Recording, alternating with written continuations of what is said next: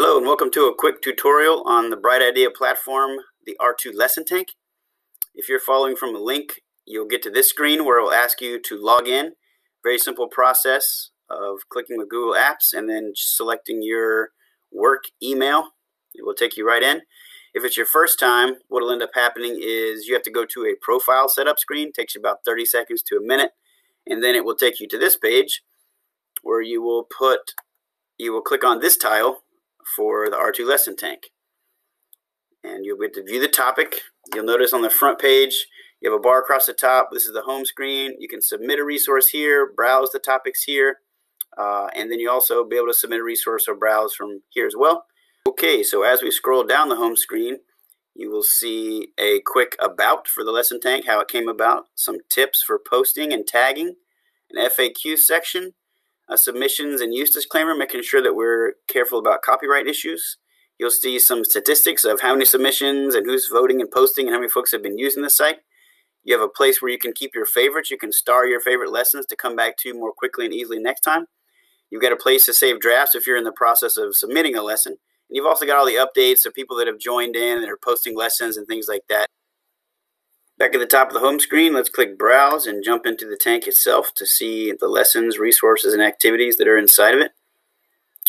When you first get to the main page, you'll see that every idea has its own tile. As you scroll down the screen, it'll keep refreshing to show you all the tiles that are available for you on the tank, which is awesome and also maybe a little bit nerve-wracking because there's a lot there.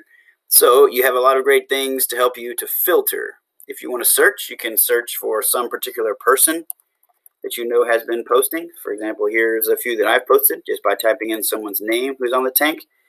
Um, let's say you're searching for something for your Spanish class. So here's language PS.4. You can search by a, uh, a standard, perhaps, or a content area like U.S. history or biology, something like that's a good thing to search. You can find things that way.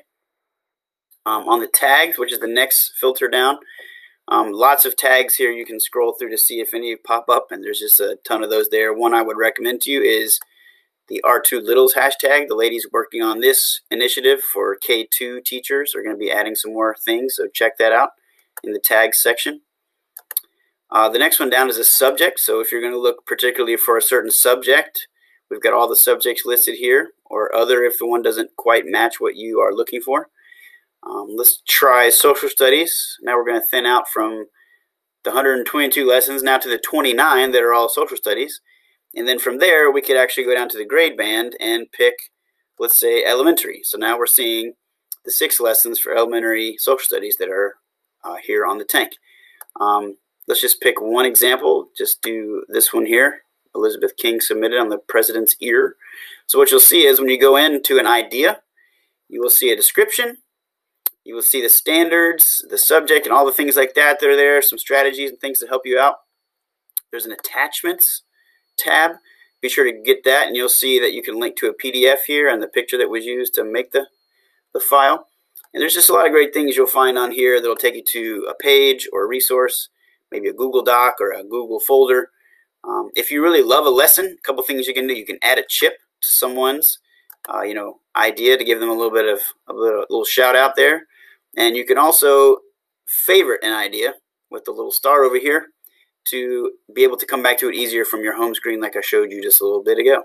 Okay, so you've just learned how to search the tank. My next quick video will show you how to fill the tank because it's really important that we get more and more teachers in Richland 2 onto this tank and this resource to show you guys how powerful it can be for you guys to share with each other your resources, your lessons, your ideas in a way that will really increase student engagement and learning.